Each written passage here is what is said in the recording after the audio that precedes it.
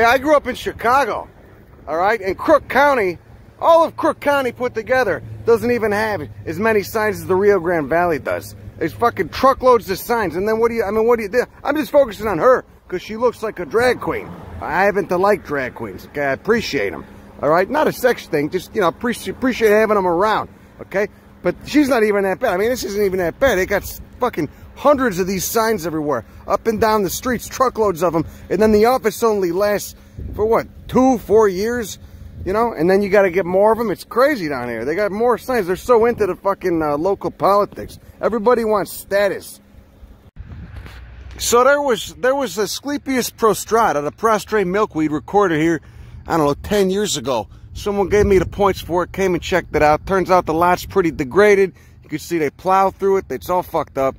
Uh, but you still got a lot of remnant uh, native vegetation. And you get some pretty interesting shit too. You can see you got some Jatropha, okay, which uh, Euphorbiaceae, Jatropha dioica. They must just come back from tuberous roots. You got your Karwinskia right there, that very poisonous member of the Rhamnaceae. You got, uh, you got of course Parthenium, and uh, you got this weird bastard, Tetraclea coulteri. Lamiaceae, the mint family. Okay, you got your opposite leaves, and you got those stamens just so prominently exerted outside of that beautiful dame corolla. No, very noticeable calyxes too.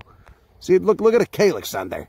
Okay, that was when I first time I seen this was seeing the calyx. Oh, look, it looks like he got some maturing ovaries in there as well. You also got this mean bastard, Cenchrus spinifex. Okay, my dog especially hates it. Look at those fruits. Look at the fruits on there. Texas's meanest native grass. Fuck this plant.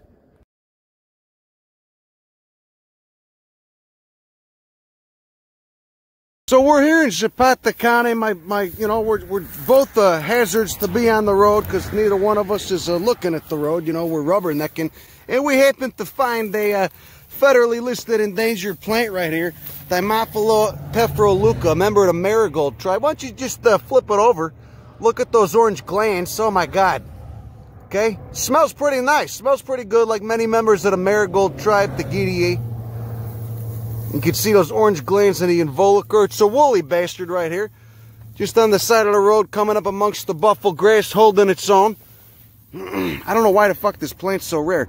Okay, there's herbarium records going back to the 60s of this thing being collected here. And I got it at San Antonio, the Botanic Garden. But uh, you can see it's just, uh, you know, it could be a victim of mowing. They do love to mow here in Texas. You give a man a reason to use a gas-powered uh, machine of any kind in this state, and they'll take it. But uh, you know, this guy he's still still doing good. He hasn't been mowed down yet. So we're gonna collect some seed. We're gonna we're gonna. Uh, oh, did I just say that on the camera? Never mind. I mean, we're not gonna collect seed. We're gonna we're gonna consider collecting seed and herbarium vouchers to a session, but we're not gonna we're not gonna actually do it. Okay because you got red tape and you got a bunch of fucking knobs who will uh, snitch you up for doing. Here we go. So you could see on the other side of the road, we were just, uh, you know, crawling around the bushes over there. Now we're on the other side of the road over here. Okay, beautiful Zapata County. Okay, a couple miles north of San Ignacio. You got the Distimake dissectus. Okay, the Distimake, Distamaki. Okay, Convolvulaceae. Very, uh, very uh, notable fruits right there. Like looks like a little wooden rose. Just member of the uh, Ipomoea family climbing up this fucking uh, tree over here. Looks like an Eysenhardtia. And you got more of that Thymophylla just on the ground. Just coming up. See, these are already done. Look, tons of seed right here. Okay, which you shouldn't collect because uh, there's all that red tape, right? Okay, don't want to break any rules. Don't want to do any, don't want to break any rules. Okay, but uh, you get you get your yucca constricta too. Oh yeah. A lot of nice plants, not a lot of nice habitat, and a lot of fucking buffalo grass too, which is kind of a drag, but we're not going to let it bum us out because uh, the Thymophylla is doing pretty good. The ashy dogweed. Okay, why is it so ashy? Because it doesn't use a moisturizer. Gotta gotta get some Eucerin. All right. Tried to get them to sponsor me, but apparently they don't like uh, foul-mouthed, salty botanists. So I don't think I I don't think I apply to their product demographic too nice. There's, there's more of the ashy dogweed. See, just coming up on the other side of the fence, which of course, you know, I, I would never trespass, so I'm not to go over there and get more money shots of it and, uh, you know, inspect it up close nice. See that? Look, you got the Bouteloua too. The eyebrow grass, because it's, see, it, it's not good. It's better when it's actually flowering, but it looks like the little, uh, the eyebrows that the uh, that you see on the Spanish soap operas on you know the women on the Spanish soap operas on Telemundo. They look nice, except they'd be black in that case. But you, yeah, that's how I always remember the Bouteloua. The eyelash grass. Look at that ashy dogweed back there. You got some croton. Might be croton dioica. Look at the undersides of this, uh, these leaves. Looks uh, looks silvery, like some uh, bad polyester clothing from the 70s. Looks probably a bunch of little scales. Trichomes and scales doing that. Croton, there's a million crotons in uh, in Texas, though. It could be hard. And then over here, you got. It's too bad it's not flowering, because this is a this is a showy bastard when it flowers. Fabaceae used to be in Caesalpinia, but now they moved it into Erythrostemon. Erythrostemon caudatus. Okay? And this is kind of a shitty specimen. I'll show you more on the other side of the road where the, where the, uh, the ashy dogweed's still flowering. But uh, pay attention to those leaflets in that nice blue color. And if you get up close, you may not be able to tell on this one, but you got the glands. Do you see the glands on the stem? It's a, it's, it smells like, uh, it's kind of pungent. I don't know if it smells good. I kind of tend to like those nasty plant smells, though. Oh, fucking mesquite and everything. I love this habitat. See, on the other side of the fence that I didn't just hop over, you got uh, a beautiful specimen of Ancistrocactus. Ancestral cactus scheeri. Look at those hooked spines, those hooked central spines. You got a bunch of radial spines.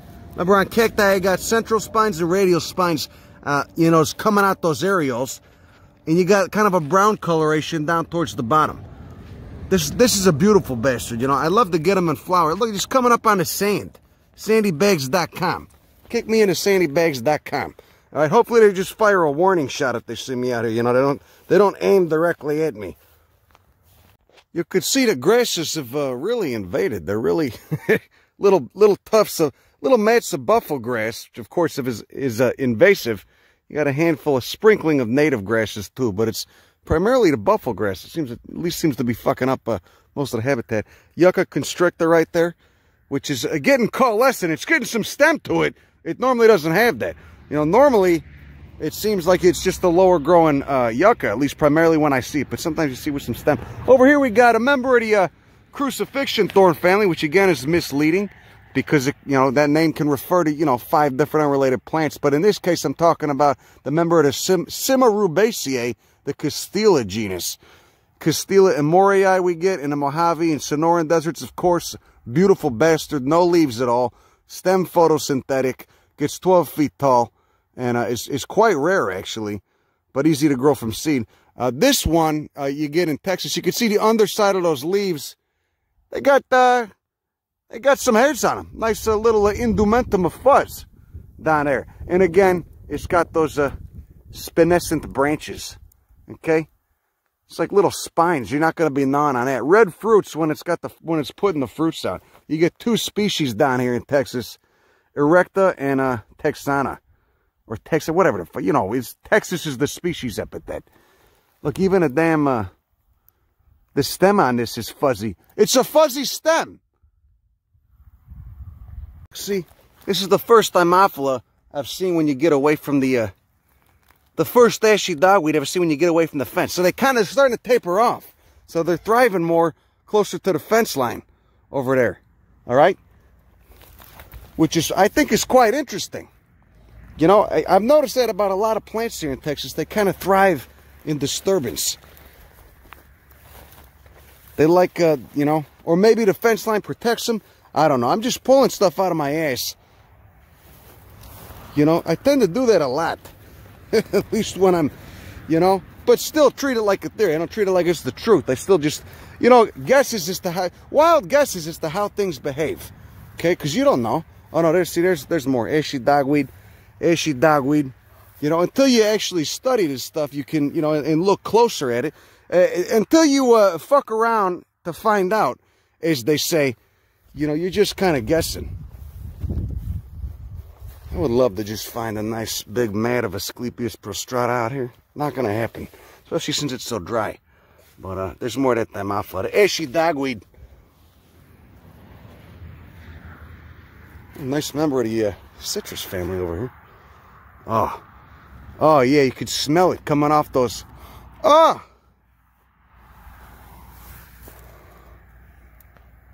Remember, they got those pellucid oil glands. Oh, yeah. Zanthoxylum. Those fruits. And then look at the look at the skin on those. You could see the little oil glands on the skins of these fruits. Looks like a little berry. Looks like citrus fruit, right? Doesn't it? Like an orange peel. See those glands? They got the glands. But, you know, the uh, the uh, foliage stinks too. I like it, though. I like nasty plant smells. That's just me. So back on the other side of the road where the Thymophylla is still blooming, you can see it over there. We got uh, another uh, cool xeric adapted member of the Asteraceae. We got Tetraneuris scaposa right there.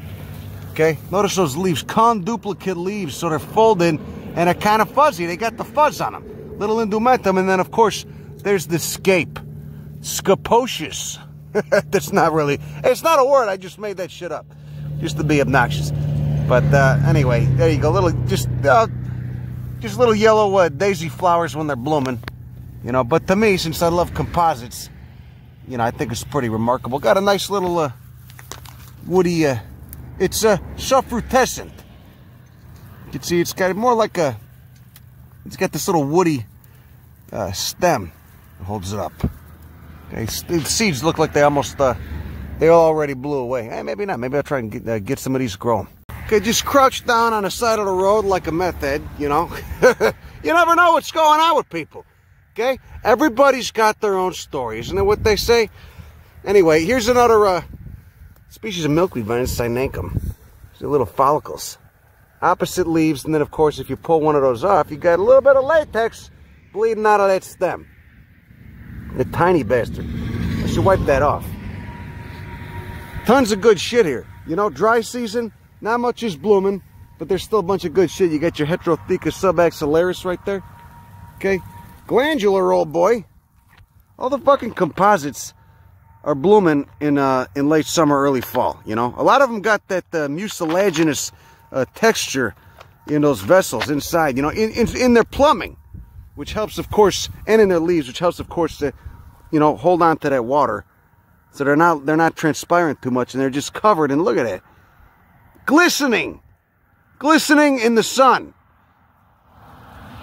Camphor weed's the name of that. It smells like uh, something you'd put on your ass if you had, you know, if you pulled a, a groin muscle or something, okay?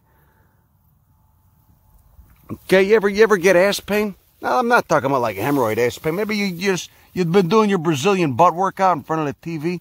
Again, you know, you get they get the muscular pain, you know, like uh, Tiger Balm. You ever convince your friends to put that on their scrotum when you were uh, in junior high. Maybe it was fun. Anyway, uh, there's that uh, tetranursing. I just love those leaves. Okay, this this guy should be growing up. Be nice in containers, some rocky containers. Here's a uh, got that Euploca confertifolia borage, a tiny borage. Look at it. All those woolly, woolly little uh, bract-like leaves. And of course, you got the you got the Goliad formation, all these uh, tumbled cherts. This one actually looks like it's been worked, and you find that a lot. You know, where there's little chips. I mean, it's I don't know. You know, sometimes it's it's hard to tell, but uh, look at that edge, sharp as all hell. It's basically just silica. You get all kinds of cool cherts and jaspers in this uh, region. You know, and all of them, of course, none of them sourced locally, not locally sourced all right, brought down over the last, you know, 100, 200,000 years by the Rio Grande. Okay, so uh, a little bit closer to uh, beautiful Laredo, and I'm only being half facetious when I say that. I rode through Laredo about 15 years ago. I actually caught a train north out of there. I crossed the border legally and then met up with a guy who'd crossed it illegally. Really nice guy named Luis. He was, he, actually, you know what? No, he had his papers. He was doing I don't know what the fuck I'm talking about. Anyway, we had a nice run. Okay, it was before shit really got hot with the cartels down there in Mexico and it got pretty violent, but none of that uh, here nor there. Uh, anyway, we're on a nice rock outcropping now, and we got a real nice, uh, formerly in the genus Chamaesyce, now in the genus uh, Euphorbia. Look at that. Look at that. Those nice red glands around that uh, cyathium. HotCyathea.com. Beautiful, beautiful foliage too, waxy and blue. You got your nice, uh, looks like sandstone. Looks like we got some sandstone, but uh, there's also some gypsum on it. We got the, uh, we got some gypsum going on, which as you'll know, see, this looks like, uh, looks kind of like a salt crystal. As you'll know, you can make the drywall out of that. So maybe we'll post up here, you know, get some uh, sheetrock contractors out here Hopefully they don't fuck it up when they mix it. Look at that. Anyways, I was going to say, as you know, the gypsum causes uh, plant speciation as well. You get a lot of gypsum endemics, okay, especially in Nuevo Leon, uh, right in the Sierra Madre Oriental over there. Okay, beautiful mountain range in eastern Mexico. And if you look at it on a topographic map, uh, you know, you'll end up doing some mapsterbating because uh, it's really a lot of compression there, which I think is mostly late Cretaceous. I mean, you can see the mountains are folded. It's, it's honestly one of the most spectacular mountain ranges I've ever seen. Tons of cool agave, rare cacti, etc. And, uh, you know, you've got these beds that were laid down flat, and then they're just now they're flipped up completely vertical, and it makes these kind of step habitats for these these uh, plants to grow on. A nice uh, Tiquilia canescens, okay, not flowering. I don't know why I'm showing you all this shit. Nothing's flowering. Isocoma, Coronopifolia. But, uh, you know, what we're really looking for is some more uh, rarities. Okay, some of the nice, uh, maybe that, uh, the ashy dogweed. We'll see if it's here. Only a couple miles down the road from where we've seen it. Who knows what the little botanical gems await in the uh, Tamaulipan thorn scrub. Got tons of leucophyllum everywhere. That's always a pleasure to see. You can see it's just starting to go off. Oh. Look at that. Scrophulariaceae. With those beautiful uh, silky gray leaves. You like it when I call things silky? Silky ass? I think they call this Texas sage, but it's uh, in no way related to sage. I mean, it's in the same order, but it's it's not saying much. Look at that massive, massive brick of chert. Got tons of Tiquilia everywhere. Euploca, that little guy. This kind of looks like peyote habitat, but uh, we're not looking for peyotes today. We're looking for uh, the ashy dogweed. Okay, here we go. Another another uh, plant with the uh, common name of a uh, crucifixion thorn. This is Koeberlinia spinosa. We're we're at about the eastern edge of its range here. Its distribution kind of parallels the southwestern edge of Texas, going through the Big Bend country and on into New Mexico. Okay, this is actually an order of mustard, if you believe that, the Brassicales, and it's but it's in its own uh, family a monotypic family, Koeberliniaceae.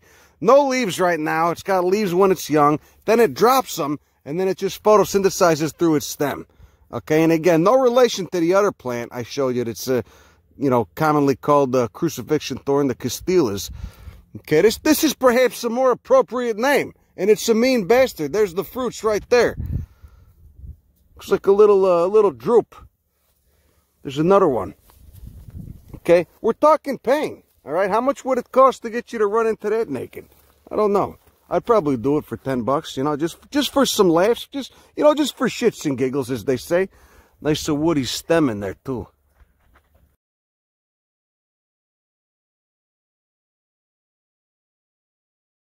Beautiful day, right on the Rio Grande. Beautiful sunset. It's like a cocktail, just real, real, just calm you down okay? Even, even when you're getting a little excited because you just found a new population of a rare plant and it's got a fruit on it.